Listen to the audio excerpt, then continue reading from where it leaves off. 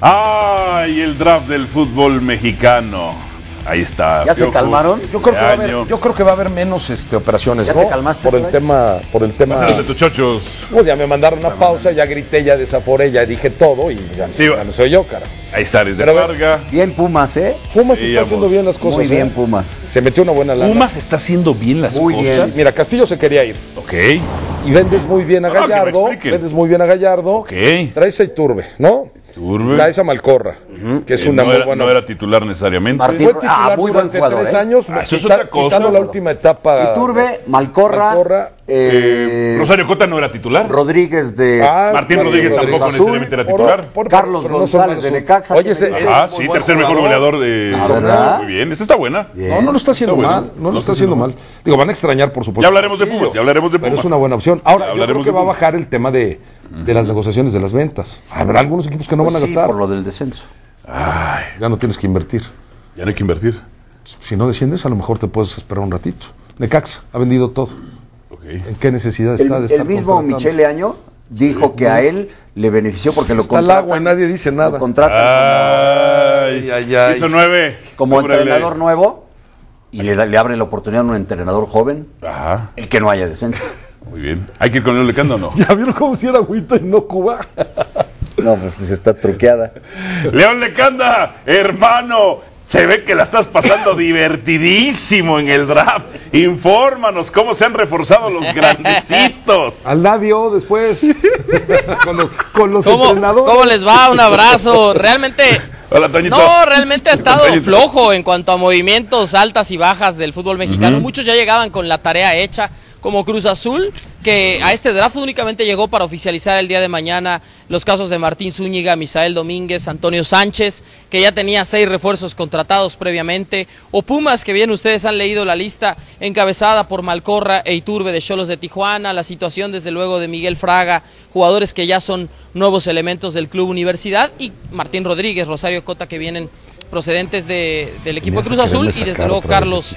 eh, en la delantera, Carlos González, ex del Necaxa. Así que en realidad los clubes ya llegaron prácticamente armados y en este draft lo que nos dicen varios eh, representantes, varios directivos, es que los precios están por los cielos y que por lo tanto ha habido pocas negociaciones. Lo que sí es que los equipos regios quieren poner sobre la mesa para negociar si jugadores como Ener Valencia e Ismael Sosa en el caso de Tigres, o bien Avilés Hurtado y Dorlan Pavón en el caso de Rayados, pero son los que menos necesitan el dinero y por lo tanto no se van a bajar de los precios por encima de 8 o 9 millones de dólares por cada uno de estos jugadores. Que América y Cruz Azul pongan atención en esto que dice León.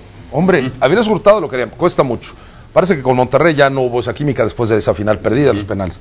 ¿Es un jugador que Cruz Azul puede Sí. tomar o es un jugador que puede tomar en América? Lo mismo Pero pasa Avilés con se Pavón. desprendería de él.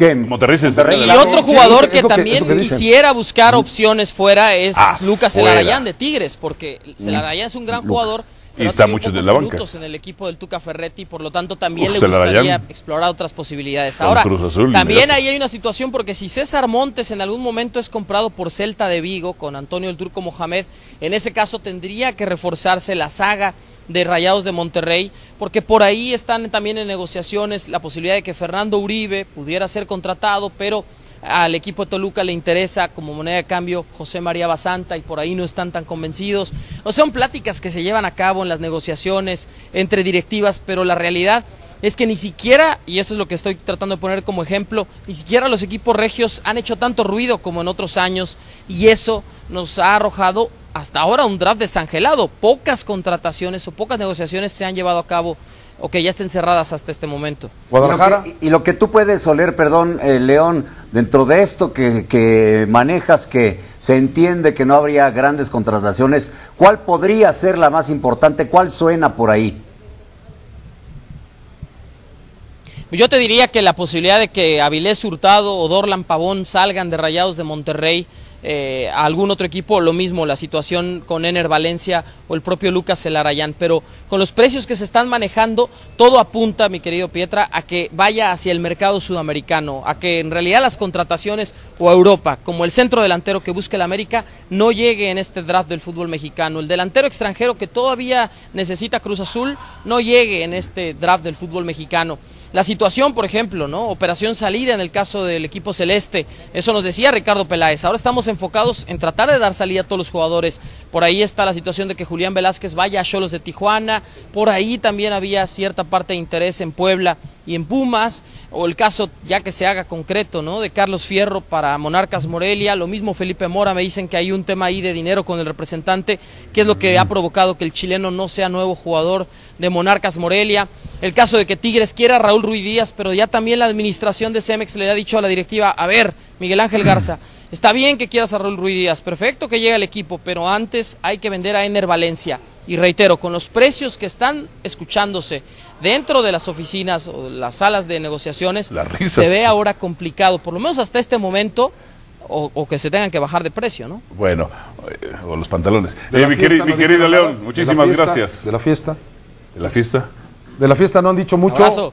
León. ¿De la fiesta qué dice el León? Sí, ¿Dicen la situación con, con Guillermo Cantú, el, el director, Ok. secretario general de, de la Federación Mexicana de Fútbol, que ha confirmado que no habrá ninguna sanción para los jugadores porque estaban fuera de horario de concentración del TRI, tenían día libre. Y Que dijo, bueno, esos son los riesgos de sanción". la libertad, pero cada jugador es libre de decidir hacer con su tiempo lo que quiera. Y ya hubo eco, por ejemplo, Manolo Lapuente nos reconoció en una entrevista que en la selección de 1998 él permitía las fiestas, dice, incluso en alguna invitamos a los directivos. Aquí la situación es, ¿Ves? y ¿Ves, eso es lo que hablan La entre líneas, es Nada que no se haga pública nada de eso. Ahorita sacaremos la lista de quiénes fotos, estaban. Que no salgan videos.